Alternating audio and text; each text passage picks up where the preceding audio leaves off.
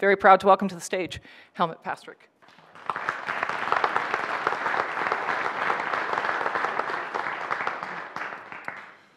Well, thank you for that introduction, Mo. I'm uh, very appreciative of that. And uh, uh, good afternoon, everyone. I'm glad to be here to present the the state of the economy and where it might be going in the coming, uh, coming year or so.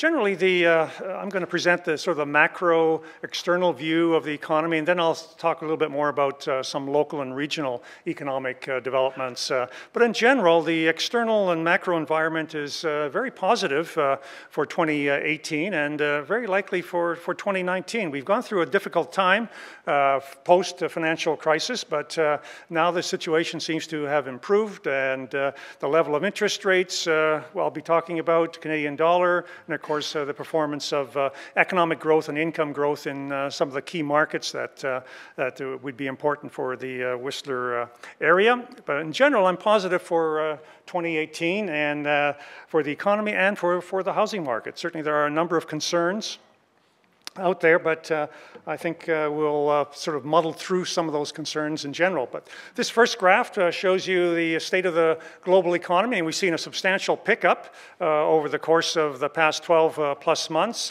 we've had that slowdown occur from about 2015 into 2016, and this indicator of economic activity shows a nice upturn has developed and into 2018. And indeed, for the first time in, in uh, probably two or three years, the global economy is growing in a more synchronized state. That is to say that most of the major economies of the world are growing at the same time, growing at a faster pace. Uh, before, we, we had, the, uh, of course, the uh, slowdown, we had oil prices uh, fall considerably, we had recessions in some parts of the global economy. Now that has ended, and now for the first time, we're seeing some synchronous growth.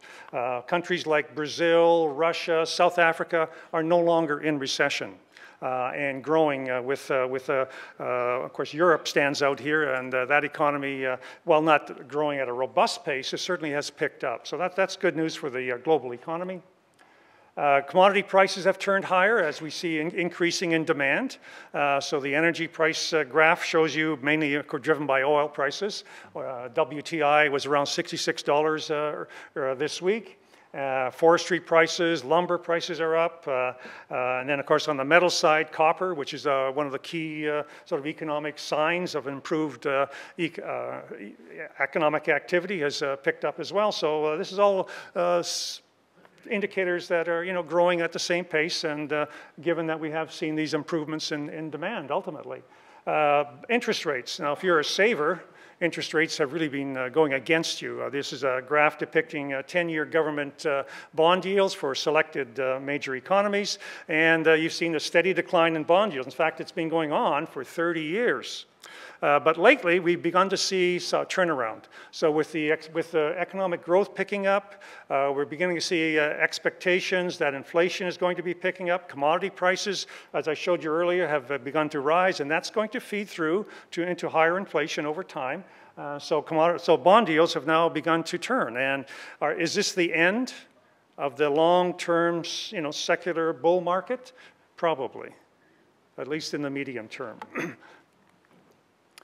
The US economy has been growing at a very weak pace, and this is typical of what we have seen not just in the US, but also in Europe and a couple of other major economies. Canada is not quite like this. This graph depicts the uh, path of the US economy coming out of each recession since the post war era. So there have been 11 economic recessions, or cycles, if you will, uh, in the US economy. Uh, and this, uh, each line shows you the path of recovery uh, from the bottom of, uh, of each recession. And the red line is the current economic expansion in the US. And look how weak it has been. And it's been the weakest, of course, because of the great financial crisis. The huge drop in the balance sheets of households, corporations, uh, tight credit market conditions, uh, those factors permeated the economy in a major way. And we're now beginning to come clear of that. So that red line is now the uh, tied for the second longest economic expansion in the US. And I predict it will exceed the green line. It will become the longest expansion on record. And there's a lot of pent-up demand in the U.S. economy, even though even after eight years. Uh, just look at the U.S. housing market and how the level of, uh, of housing sales, the level of housing construction uh, is still well below household formation rates. And so there's a lot of room to grow. So that, uh, you know, that economic expansion should be able to continue unless there's, of course, some crisis event.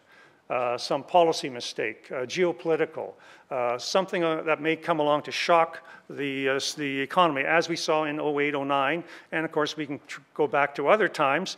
think of 1990, Gulf War I, oil prices quite, you know, double, triple, etc. So those kinds of events will can, and, and do occur. It's just that they're unpredictable more often than not. Uh, as I said, inflation is beginning to pick up. it has been very low, and hence bond yields were, were low as well. But that's beginning to change. We're also beginning to see uh, not just commodity prices uh, uh, pick up uh, and will filter through through uh, goods and services, but also uh, we're going to see some wage pressures develop as well. this is a graph depicting the U.S. economy, just the current performance. these are quarterly real GDP numbers, and the red line just smooths things out. And you can see that the slowdown that occurred in the U.S. economy in 2015 and 16, mainly because of the energy collapse, uh, oil prices down. U.S. Uh, is a significant oil producer these days, right? Shale oil has really changed the landscape. And the U.S. is actually beginning to export, believe it or not, oil, as well as gas, natural gas.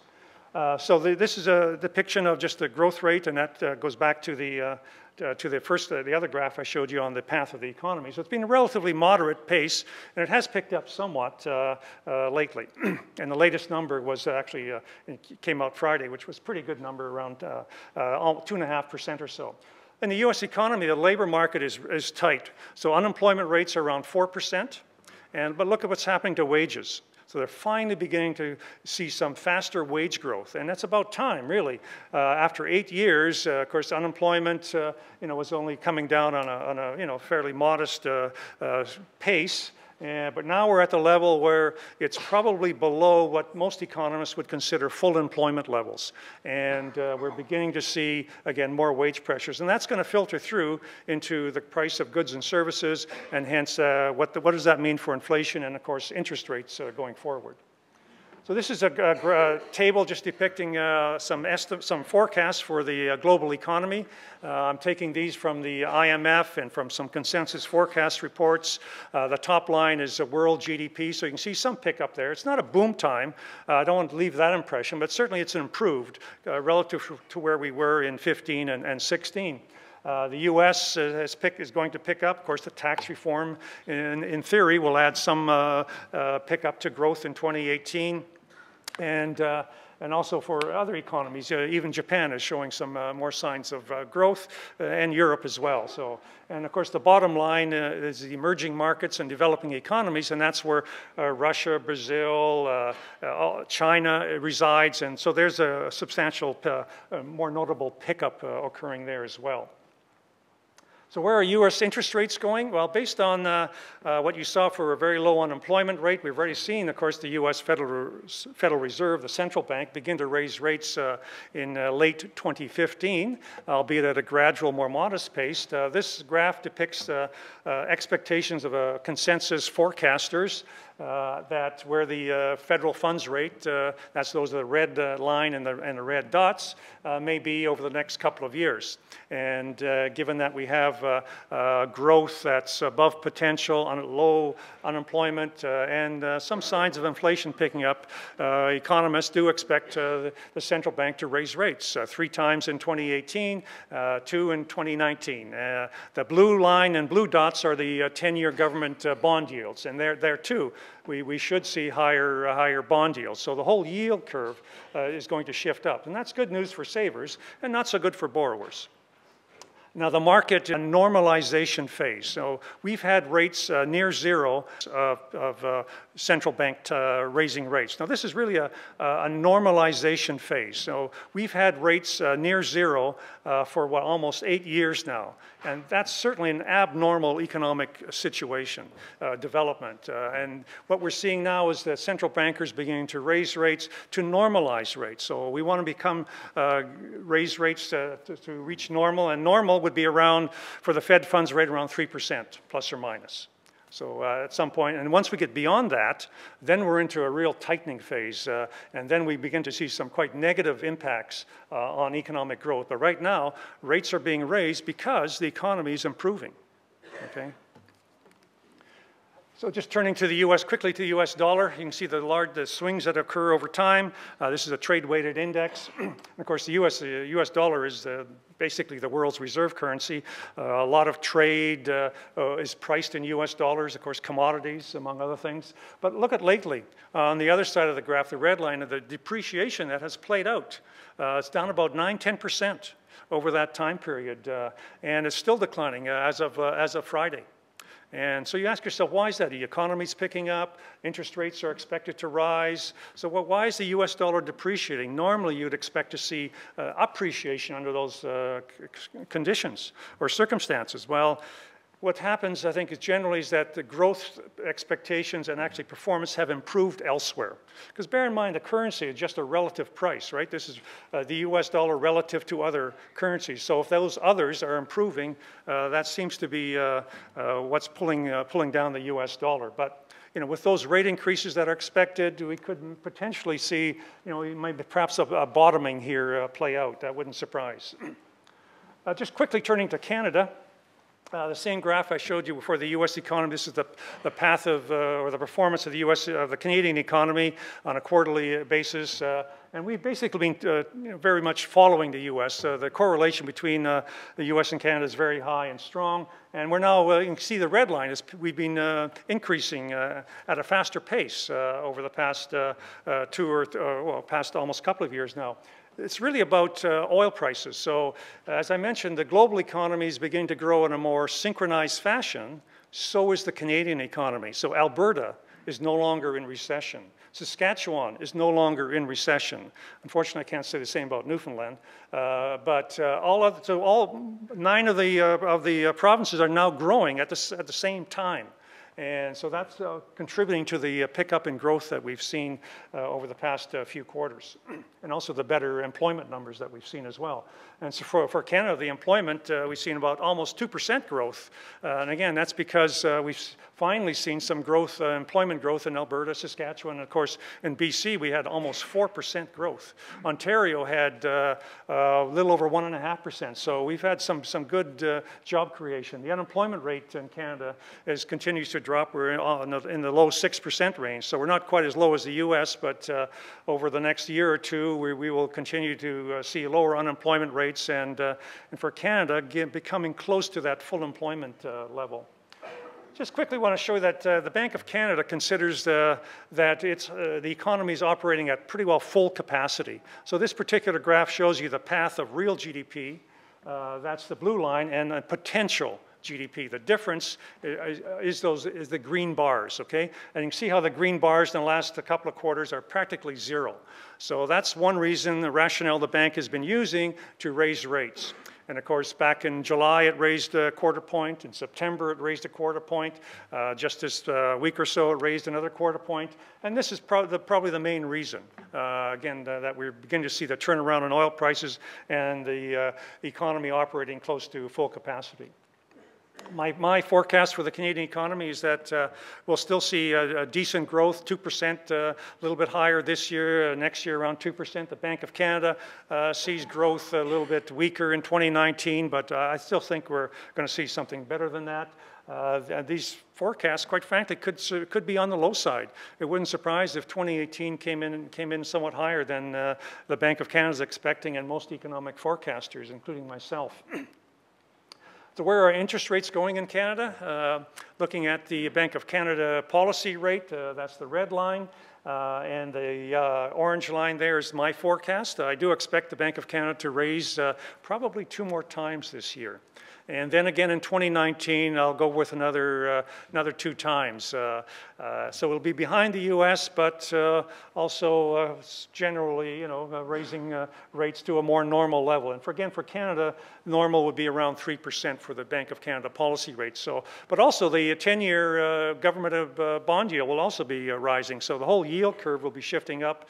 And at least initially, I expect the yield curve to steepen and then to begin to, to flatten over the course of the next two to four four years. Canadian dollar, that's always a, a, difficult one to accurately predict. Uh, and again, this is just a relative price, the, the US-Canada exchange rate, and you can see the, on the uh, left-hand side uh, the annual numbers, and uh, it looks like the Canadian dollar has turned a corner, that we're beginning to see some, some better, better increased numbers, some higher values. And the red line are the are the weekly numbers, and you can see that we have seen a, a pickup, albeit quite variable. And, and uh, when you follow the Canadian dollar, you can see a one cent swing in, in, in, over the course of one day. So that's how volatile it can be. Uh, but in general, it seems to be uh, uh, appreciating, and uh, my expectation is that we'll, we'll see it generally hold uh, and, and probably uh, inch higher, given that oil prices are where they are and generally expected to remain over $60. and we will have somewhat higher interest rates. I'll be lagging behind the U.S., but I think that still sets the stage for the, an appreciation in the Canadian dollar, albeit not a, a sharp one. Of course, we have uh, one concern is NAFTA, and uh, they just completed the sixth round in Montreal. And I understand no significant progress, but there was some good feeling coming out of that meeting. Uh, but really, uh, you know, it's uh, still going to be uh, an issue that will cause concern. In fact, the Bank of Canada has cited that, you know, the, if this does deteriorate, you know, quite frankly, you may have to hold off on those rates. if we do see a NAFTA withdrawal and negotiations fail, uh, then uh, there will be a hit to the Canadian dollar. There will be a, a reduction in expectations for growth, uh, investment spending, uh, and so we'll probably see a downgrade in economic uh, forecasts, and hence the Bank of Canada would likely uh, hold off on, on rate increases. So this one's a tough one to actually predict. you know, what will happen if there is no NAFTA? You know, U.S. withdrawals. do we go back to the original Canada-U.S. Free Trade Agreement of 1988? For example. Some think that might happen. Uh, or will we uh, just revert to uh, World Trade Organization most favored nation tariffs, uh, which aren't that high. Uh, they're about 4% for Canada, 3% for the US, 7% for Mexico. Uh, the economic uh, analyses I've seen uh, trying to gauge the impact of, the, of, a NAFTA withdrawal suggest that there will be a, a modest uh, uh, economic contraction or hit to the economy. Uh, not a contraction, but certainly a reduction in economic output over, the, over the medium term as a result of no NAFTA. Obviously, costs would rise. you know, we'd see a lower Canadian dollar. But we would see some higher, uh, higher consumer uh, price inflation as a result. you know, the worst thing that could happen, of course, would be a trade war. Uh, that would be you have a much more negative impact than simply a NAFTA withdrawal. So a NAFTA withdrawal would be have has to say modest impact, negative impacts, uh, but a trade war would would, would really uh, have a quite quite more uh, substantial negative impacts. Uh, and the other trade irritant really on the uh, macro horizon is not just uh, uh, NAFTA, but it's Canada, it's the US-China. And uh, there, we, we, you know, China being the second largest economy in the world, by some measures the first, the largest, uh, there we're seeing increasing, you know, uh, tensions develop. Uh, you know, there were just recently the U.S. slapped on tariffs, not just coming from uh, solar panels, not just from China, but from other countries. Uh, tariff on washing machines, uh, or the, actually they raised tariffs on washing machines. There were, there were already tariffs, and and the like. And there appar apparently is some tariffs coming for steel coming from China, alum aluminum from China, and so forth. So how will China react once and if these you know, uh, restrictions are put in place so that that could be potentially more damaging uh, to the global economy and hence to Canada. Just quickly to uh, turn to some economic indicators more relevant to uh, the sea to sky region. Uh, tourist uh, traffic to BC from the US at, at, record high levels. from other countries, uh, non-U.S. countries, that's the way the StatsCan uh, prevents, presents the data, uh, has also grown at a very substantial rate, in fact, growing faster than tourist traffic fr from the U.S. And a lot of that, at least to BC, is from, from Asian countries.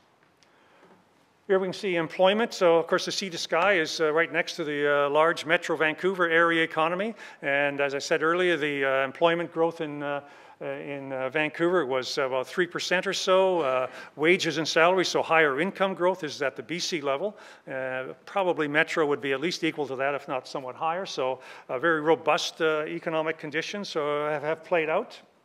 Uh, take a look at business incorporations for your region, for Whistler, a sharp increase over the last couple of years, uh, also for, for Squamish. so that's a good sign uh, that the local economy is growing. Room revenue, uh, sort of another tourism indicator uh, for the Whistler uh, municipality and also for Squamish. these are annual numbers, 12 months ending October, so that's uh, a good sign that they were seeing uh, increases there. Just quickly turning to uh, uh construction activity, and that's a substantial economic generator. Uh, jobs in the construction industry, uh, just the whole, you know, multiplier impact of, of, of housing construction is very substantial. Uh, here we see for Whistler the dollar value on, on the left-hand side and the number of dwelling units on the, on the right-hand side. Uh, so if you just quickly do the arithmetic, uh, uh, suggests that the average dollar value per unit is well over a million dollars. We can look the same for Squamish. Obviously not, not as expensive, uh, but also a nice upturn on the, new construction. So obviously, clearly that's in response to uh, improved housing market conditions.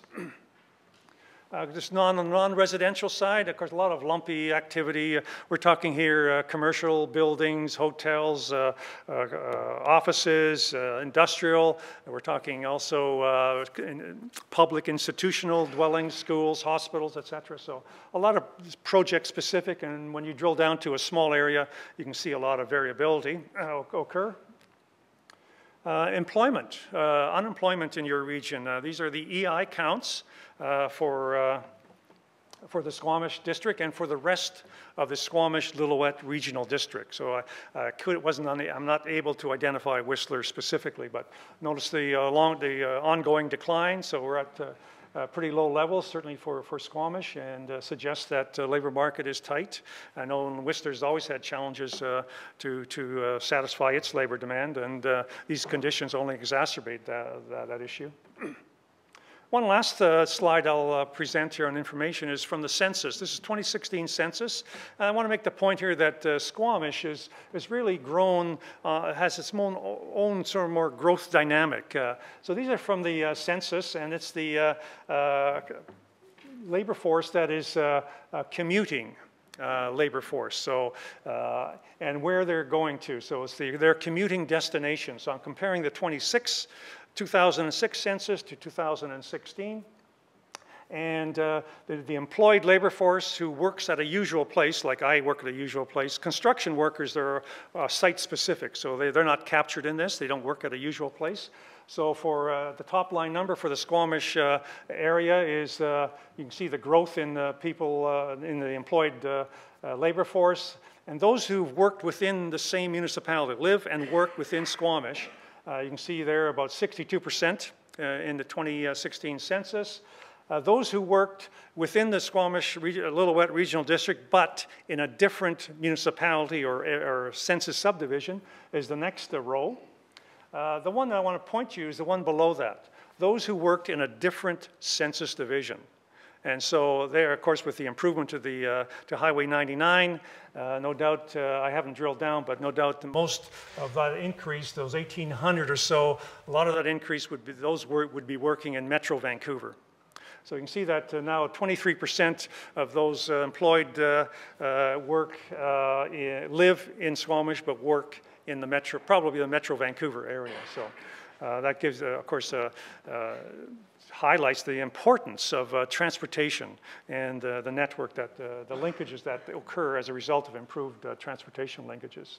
So I'll just quickly summarize the, the global economy is on a good growth uh, swing. And there's no recession on the horizon, at least not when you look at economic internals. Uh, there's no excessive investment. Uh, there's no excessive spending. I'm, I'm, referring to the global economy and some of the key, key uh, uh, large economies. Uh, so on that, on that front, uh, we can't say that there, we don't see a recession anytime in, in the next three to six to nine months. Certainly a crisis event could occur. geopolitical, that's possible, but that's something else again.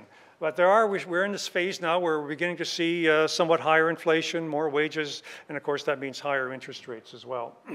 and as I said, trade policy is probably one of the top risks, but also geopolitical.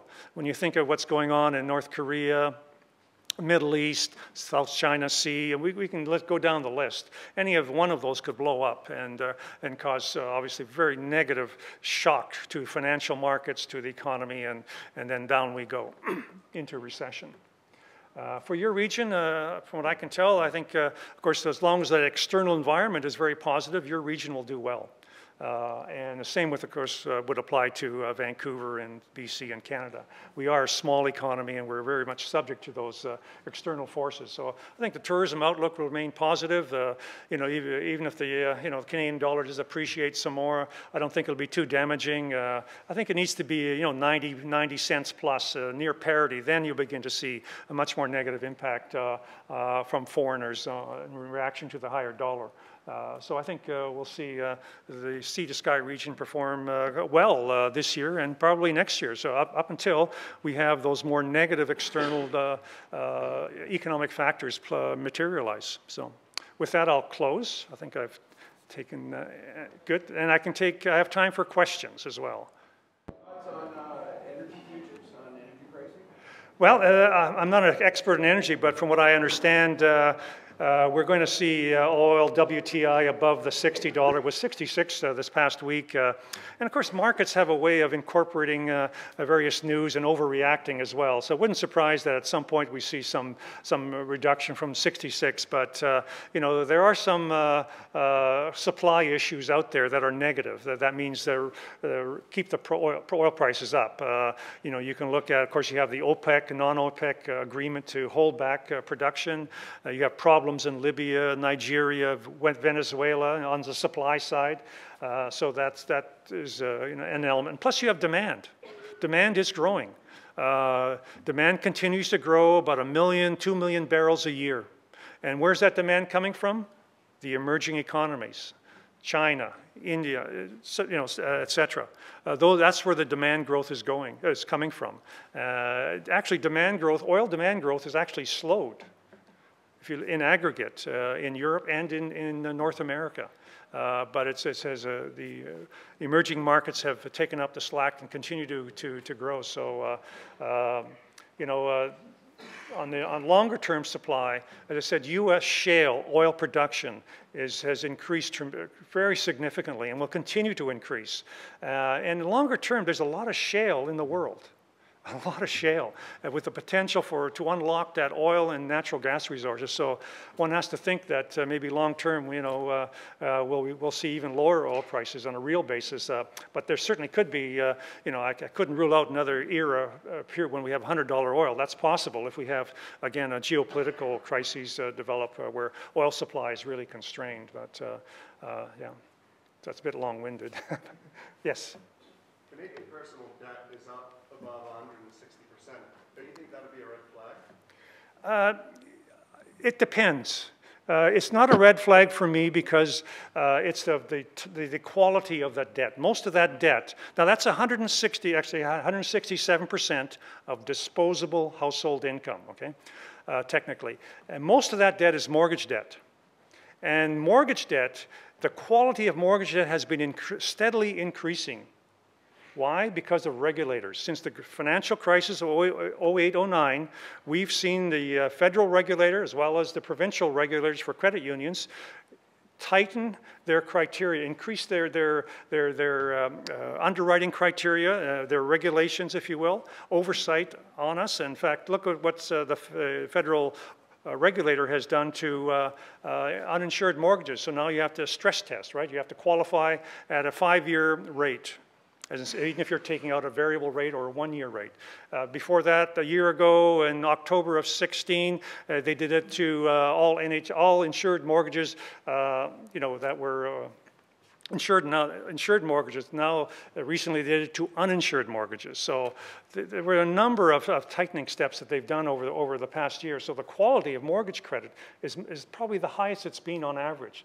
The, the last time i looked the, the average fico score for an insured mortgage in Metro Vancouver and Toronto was above 750. If you remember, this, this scale is 300 to 900. Okay, so that's high quality of, of mortgage credit. And, and uh, high levels of debt would be a problem if it's bad debt, just like we saw in the US with, with their subprime mortgages. That was bad debt. Okay? Uh, so in Canada, we have good debt for the most part. Credit card debt, not so much. Uh, car loan, personal loan, there, there's some negatives out there for sure, but the majority of, of it is good debt. And as a result, uh, you know, uh, it's, uh, the Canadian financial system is, is very sound. Uh, and uh, what, what we should worry about is not so much the, the level of debt, but rather, are we going to have a recession? You know, and then we will see, of course, higher arrears and some defaults.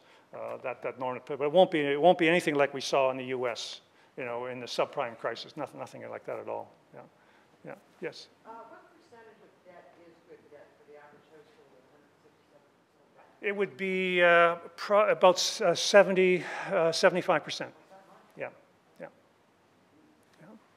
Yes.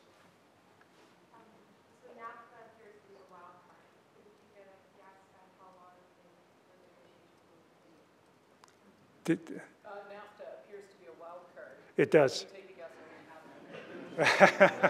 well, we know there's a round seven uh, in March.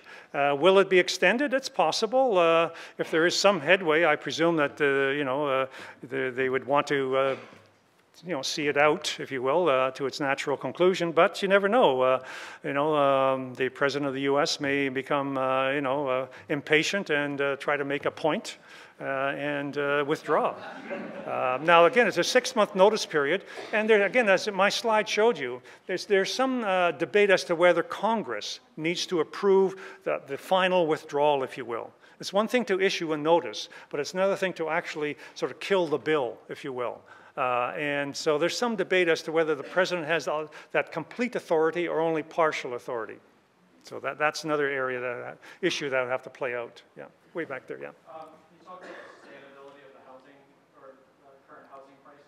Uh, yes, uh, again, the housing prices, uh, in my view, in, in mo most of the growing markets will continue to increase. Uh, given what we've seen uh, on the uh, regulatory side, the, the stress test that has just come into effect in January 1st, we'll probably see some slowdown. So instead of growing at 10, 20%, it'll grow at, you know, uh, something on the order of 5 to 15% kind of range, depending on what market you're in. Uh, what we have to worry about is uh, an external negative event that will pull down the economy, create high unemployment, uh, then the housing market will, will fall into recession. I've looked at every housing cycle in, in the post-war era in Canada and BC and the US, and I haven't found one instance where the housing market will fall into recession because of, of, of its own internals, if you will. There's always something external to the housing market that causes demand to drop.